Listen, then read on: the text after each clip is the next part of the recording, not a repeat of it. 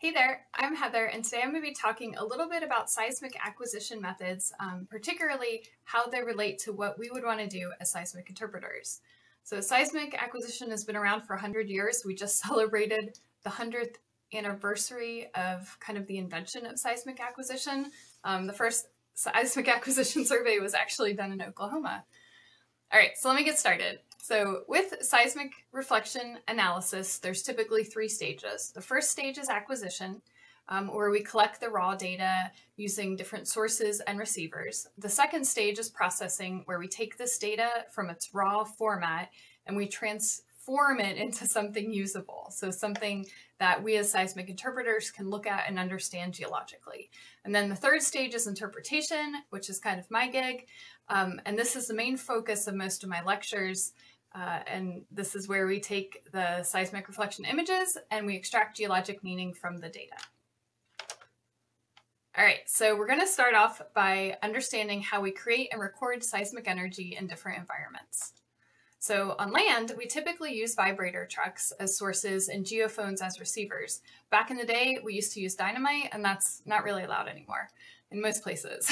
so each environment presents its own unique challenges and opportunities. So often we may have to work around uh, roads or we may have to uh, avoid houses. Last, no, maybe three years ago, I did a seismic acquisition here in Oklahoma and the farmers were in the middle of getting ready to harvest their crops. So we had to do the shot points uh, down through a gully system, which was kind of a little bit more difficult terrain. So we have to keep in mind that our land surveys, particularly, we often don't have the freedom to make the exact uh, ideal parameters in terms of acquisition and where we'll put those geophones and where we'll shoot the sh shot points. In marine environments, we often use air guns that release compressed air at very high pressures in order to generate the energy of the seismic waves. So of the seismic energy seismic energy. so these uh, air guns are typically fired every 10 to 20 seconds or so. And then the reflections are continuously being recorded by hydrophones that are dragged on these long streamers through the ocean.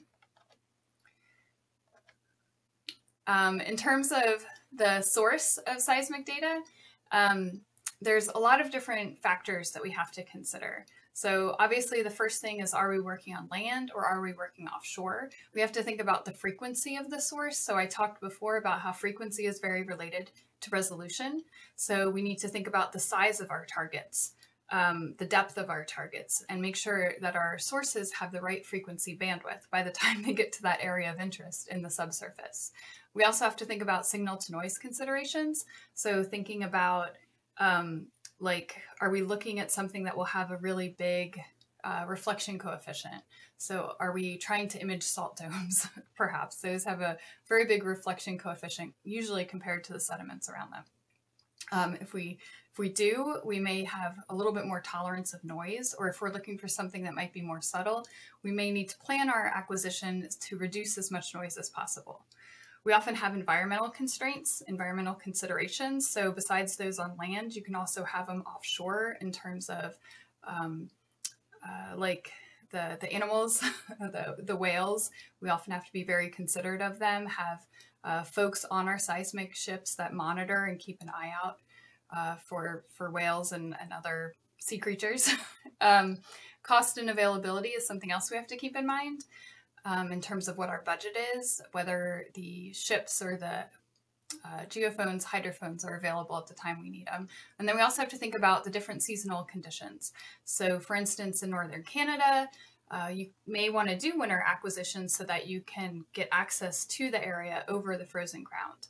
In the Gulf of Mexico, where I've shot surveys before, we had to be careful about hurricane season um, and also monitoring the eddies that exists, so the big large scale circulation patterns in the Gulf of Mexico, because the eddies would kind of tend to move our streamers in, in directions that we didn't necessarily want them to go.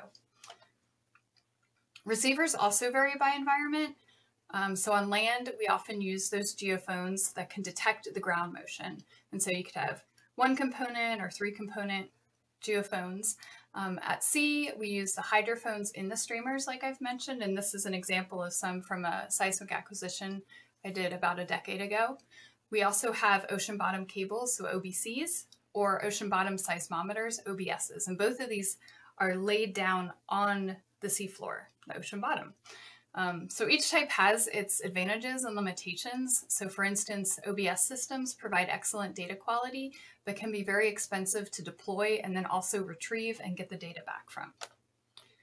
One of the things we have to consider when we're collecting seismic data and choosing our sources and receivers is that we're not just recording the reflections we want, but we're also recording various types of noise. And so when we think about and plan our seismic acquisitions, we want to consider the different energy types um, to figure out what would be most proper for the features that we're trying to image in the subsurface.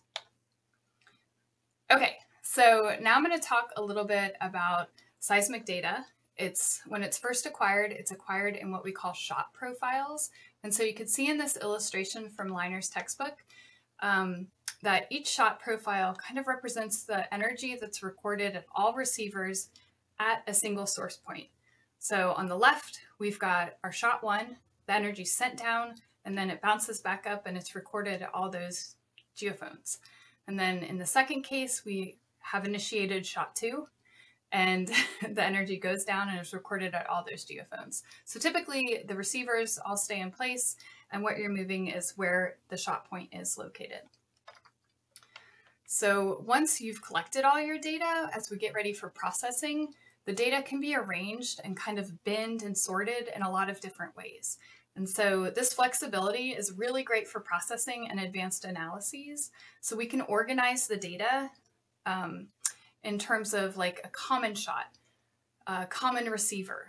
So all the data that's recorded by one receiver from a common midpoint in the Earth's surface, or from a common offset where all the angles, the reflection angles are say 10 degrees. And so each type of these grouping and binnings of the data provide, allow us to get different insights into the subsurface structure and help us identify and remove unwanted noise or perhaps uh, get a little bit of information about the fluids in the subsurface. Survey planning is really critical for success. And so this is a great diagram that kind of just takes into uh, consideration and shows you some of the various factors that have to be considered. Um, these are things like the source and the receiver spacing, the orientation of the line. I'll show you some different examples in seismic later on, um, as well as the coverage area. And so the goal when you go out and acquire seismic data is to try to optimize the sampling of the subsurface while also managing those practical considerations that you may have, like cost and accessibility. And so in seismic acquisition, I've mentioned noise a couple of times now. Uh, we tend to encounter two main types of noise. We have random noise, and this can be from things like the wind, the traffic, and other environmental factors. We also have coherent noise, which tends to show more consistent patterns and comes from either shot generated sources or other systematic sources. So from the shot generated sources, these are things like the surface waves from the ground roll, from multiples, where you have these repeated reflections, and mode converted waves.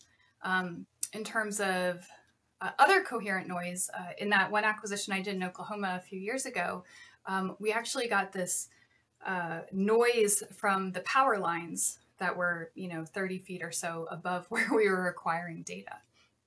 And so understanding these noises is really crucial um, because we have to use different strategies for the different types of noise during processing to remove it. And so one of the ways, the most common ways we try to remove noise is through stacking. And what stacking does is it takes multiple traces that contain roughly the same signal, so for the same kind of 1D line into the earth, um, and it sums them together. And the idea there is that if you have coherent patterns, like at the reflection points, um, those will sum together, whereas the noise itself will cancel itself out. And so you could see here in this picture, we've got 64 traces um, on the left-hand side. And if we look at just one of them in the middle for B, let me turn on my pointer again. So if we look at one of them, it looks very noisy. But if we sum together all 64 of these, we get a nice signal like this post stack one uh, located you know, on the, the right-hand side of the slide. Um, another problem we often have is that in marine acquisition, we often record more data than we actually need for imaging. And so this can include refracted arrivals that travel along the interfaces uh, rather than being reflected from them. And so this is an illustration from Cox et al. in 2020 um, that shows that these refractions can actually provide additional information about shallow velocity structure, um, but we need to be careful that we handle them correctly during processing in order to avoid any interference of the refraction signal with our reflection data. Um, and the same thing goes, we've also got a bunch of multiples shown in the image on the top point, and that's something we want to be wary of too. And we work at removing during the processing step.